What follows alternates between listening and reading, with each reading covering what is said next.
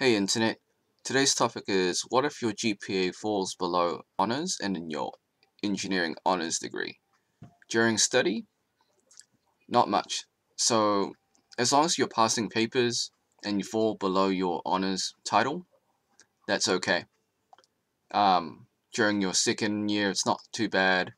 Third, um, it's not too bad, but it does hurt a little bit for internships and for your final year, um, yeah, it's probably not that ideal, but again, you can still remain in your degree. They're not going to kick you out if you like drop below honors in any of the years.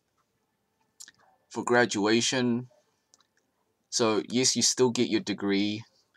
Um, only difference is just the title of distinction.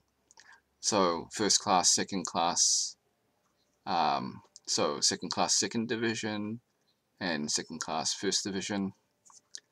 So you'll just get your regular engineering degree. And when you're graduating, you'll just be sitting with the regular engineering degree um, cohorts versus if you had honors, you would be sitting with the honors cohorts.